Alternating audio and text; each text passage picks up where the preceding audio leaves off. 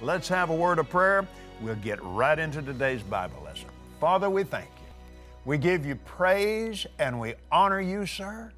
We have ears to hear.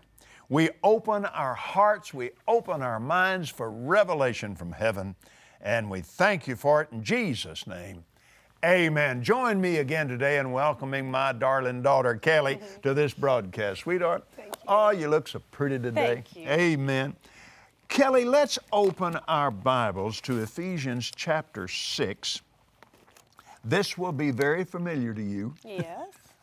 My Bible's uh, oh, all marked I'm, up I'm, like yours is. I'm telling you, when the kids were little, uh, now I'd, I'd, I'd tell Kellie, I'd say, Kellie, we're going to have, come here, come here. Oh, she'd start in, I'm telling you. She'd start pleading her case to me before I ever, before I ever really said anything. And I, oh, Daddy, now don't do nothing. Hey, don't do something you're going to regret later, Daddy. Now, you no, no, no, no, no, no, no. And she'd start in with me. And after a while, I'd get tickled, and I couldn't dare show that I was tickled. Now, John was absolutely the opposite. Mr. Stoic. I don't care what you did. You might get a nod one way or the other, but I don't care if you spanked him. Wouldn't say a word. And it, it took me a while to, to realize that he was listening more than I. And I'm, I'm, hey, I'm talking about 40 years ago. And I'm, I'm having to learn these things. See, my, my parents didn't know these kind of things. This is discipline, not punishment. That's right.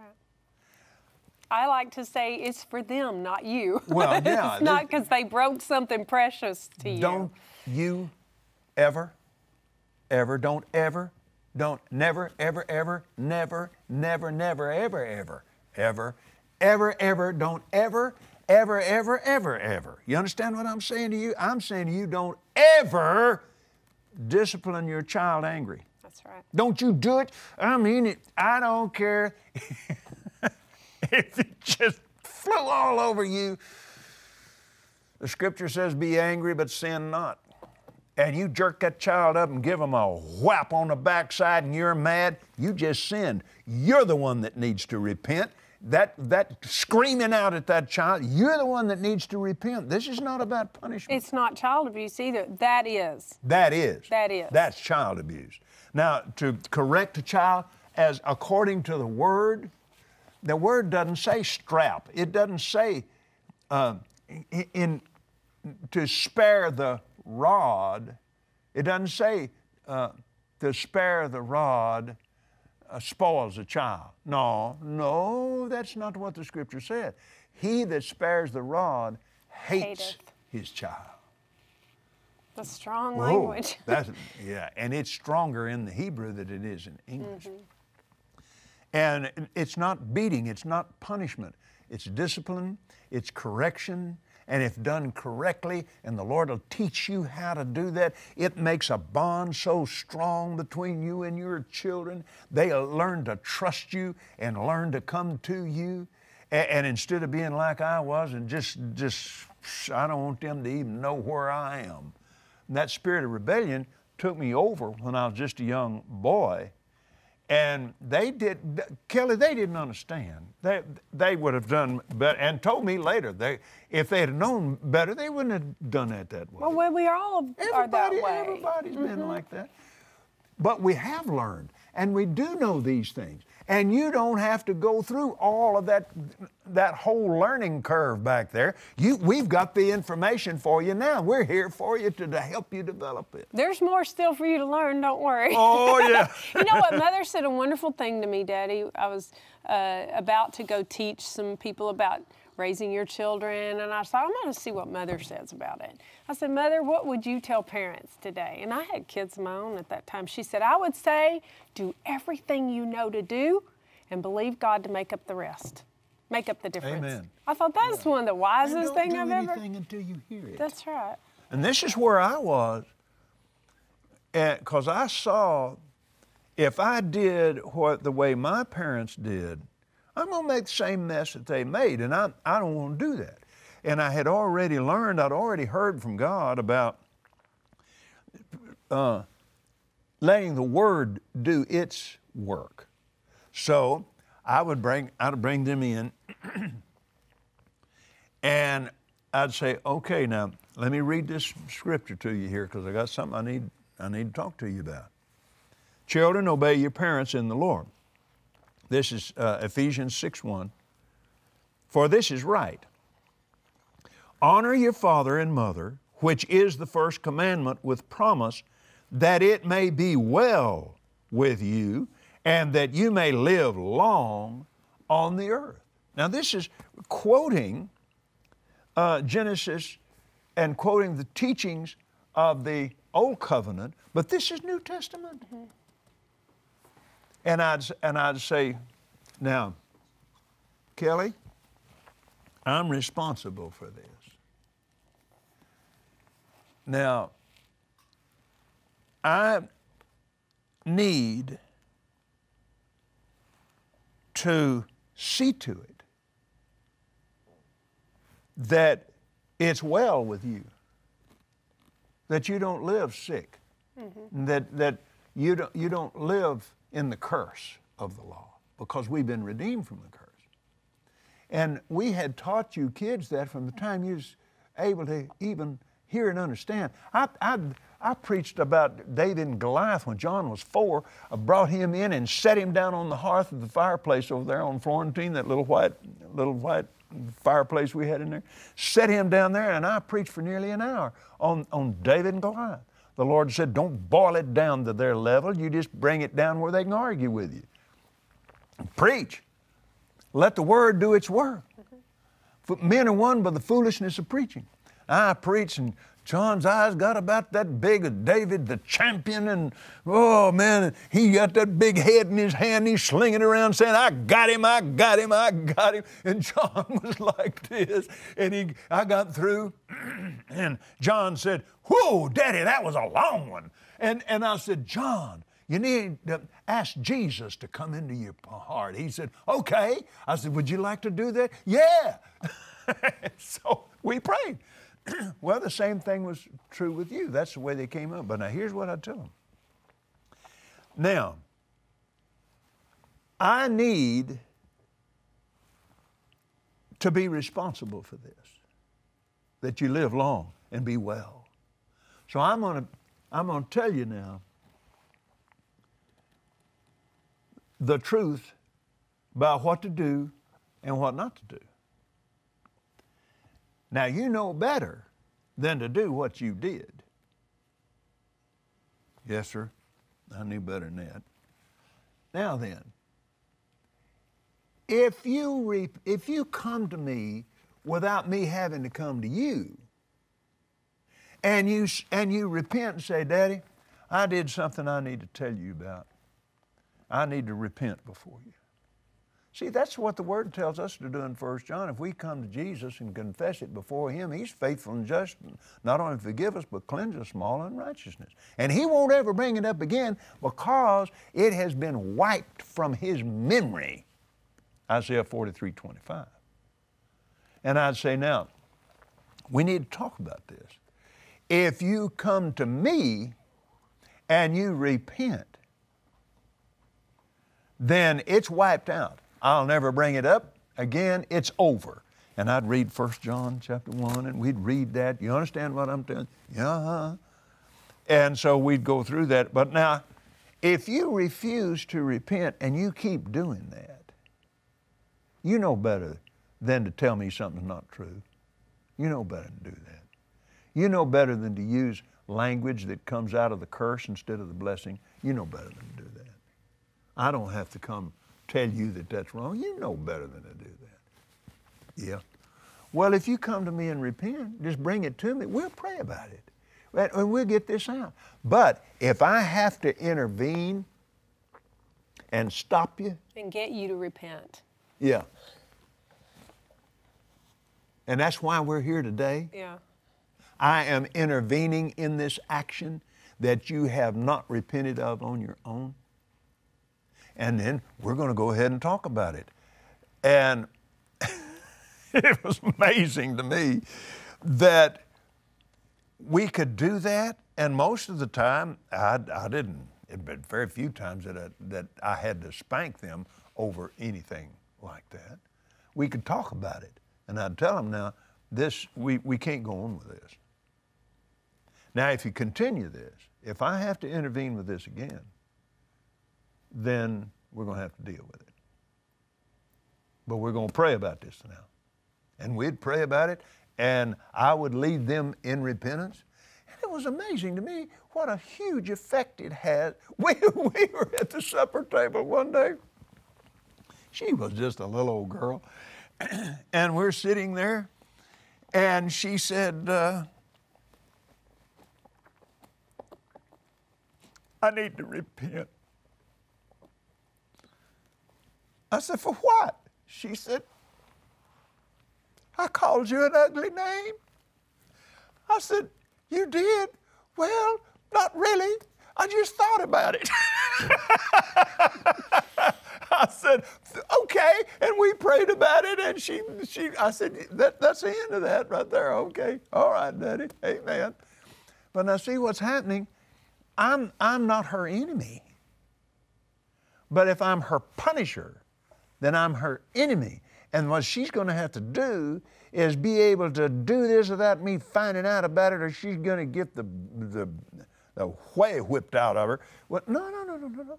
You don't need to be making enemies in this household. The enemy is not flesh and blood. The enemy is principalities and powers and rulers of the darkness of this world and wicked spirits in heavenly places. And they need to learn that. You need to learn that. And learn and teach and train, never out of anger and never out of fear. And never by yourself. You've got a partner. Yes, you do. You know, people today, Daddy, honestly, me with Emily and, and raising her is very different even than Max because there was just a lot more freedom in society to, t- you know, where you're out and somebody smarts off or something that needs discipline, you know, you could just discipline them.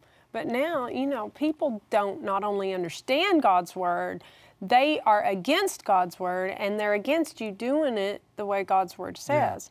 Yeah. And um, so you have to, you know, you have to use wisdom. You you have to hear from the Lord on when and how and what.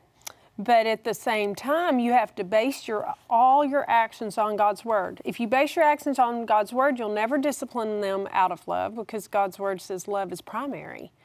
Um, but you will uh, commit to that. His you'll way. Never, you'll never discipline.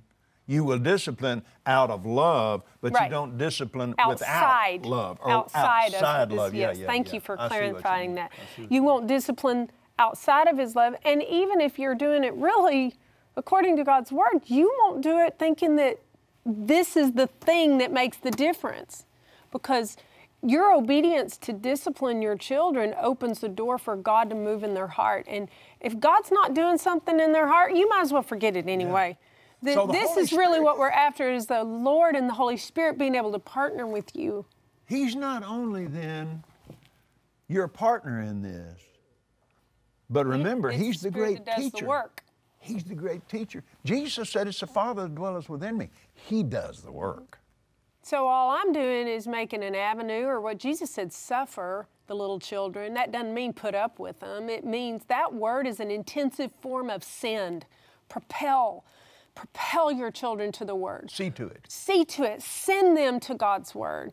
And so you can't do that without being in the word and without doing it based on his word, but at the same time when you're that way, you've got a partner and it might look impossible for your children to understand what you're trying to get across to them, but it's not your job to bring the understanding. It's his job.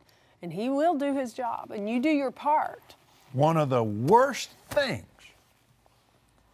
Oh, God forgive us for any, any of us forever fallen into this yes. demon trap.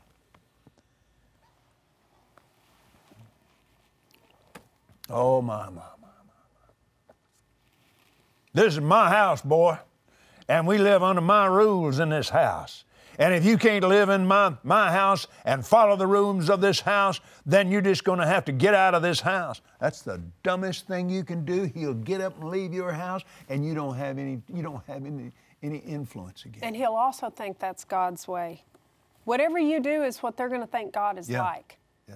God That's doesn't it. want you unless you're perfect. I had um, very, very outstanding elder of mine in the Word, and uh, and I, I questioned him uh, about this one day. At the time, John was about uh, he was about 13, 12, 13, 14. And he said, Kenneth, find out what your children want to do. And then go do it with them and help them get it done. I thought, yeah, oh yeah, I see that. Go find out what it is and go do it with them. Mm-hmm. I don't, I don't have the money to spend on that, Brother Copeland. Well, so what? God does, and God's more interested in the children than he in, in, in ministering to the children than he than he is interested in you ministering to your congregation, your elder congregation. The kids come first. God said so. Now, I studied after the life of of uh, E.W. Kenyon, and and not only studied him, but I very early in this ministry, first year, I mean, just the, the last half of 1967. And um, somebody handed me 13 of his books. And I began to read them. And, and they were so powerful, I, could, I couldn't read over about a paragraph at a time. And I would read these things, and oh, then I began to read about him. Kellie, he was back there then, he had little, and I'm talking about mimeographed again because this is all anybody had. They, There were no copiers. well, no, there were no copiers, and churches didn't have printing presses. They didn't know they even could believe God for things like that. And so he was mimeographing off little uh, folded sheets, same size as this piece of paper, because they, they would go in a little three wing binder like this. And it, it had a front and a back, and a front and a back. Now, what he had done, the Lord told him, He said, The reason you're struggling in your congregation is because you're not teaching them all. You're teaching from the pulpit, but your children are not getting what you're teaching in the pulpit. He said, What should I do? He said, Teach your teachers first, and then have them teach the children the same thing you're teaching in the pulpit. Don't water it down, teach them the same thing. So, Kellie, he started doing that. And within a very short amount of time, the church, the whole thing, had no sickness nor disease in it. Because he didn't have to reteach the children when they got to be 12, and then again when they were 18, and then again when they were 25. No, no. He started teaching them when they were little babies, little children. The teachers would, would read these same things to the little babies and little children. You're redeemed from the curse of the law. You are the blessing of Abraham. All you can do all things through Christ which strengthens you. And they came up then and, and as toddlers hearing these same things. The teachers were teaching the toddlers the same thing he was teaching out front. And he made these lessons. And then he got on the radio and taught these same, these were his radio outlines. Well, they became my preaching outlines back there in, in the olden days. Mm-hmm. Yeah. And I began to teach the kids from these exact same things. The word is the word, and it will work on you. But the, Jesus said the kingdom of heaven belongs to the kids. It's already in there. All you have to do is teach it. The, Yeah. the desire to do what pleases God is in a child with no argument. I mean, one time Max was having trouble at school. He was seven years old, and I'd been teaching him these things and teaching him to to honor the word. So anyway, he comes in and he's not keeping his hands and his feet to himself, and he's banging his lunchbox along the wall as he walks to class, right? Because Max is a real touchy, want to get in right with you and hug you or whatever, but he had a hard time with that. And I took him to the scripture that talked about working with your hands, that which is good, and it talks about walking in love. And I just pointed, I said, read that, and he, we read it together. I said, is there any way that you can make your actions fit with this verse? He's seven years old. About 20 seconds of thought, this big tear runs down his eyes and goes, no, ma'am. He got discipline. He was on his way out of that temptation after that. But it, you took him to the Word. Took him to the Word, and you had something to build on. Gave him a Then every time he comes through the room, grab him and hug him and quote that verse. Every time you get up close to him, grab him, kiss him on top of the head. Oh, Daddy, don't all me, I love you, boy. Grab him up here again and just hug him every time he comes through the house and quote that verse of Scripture.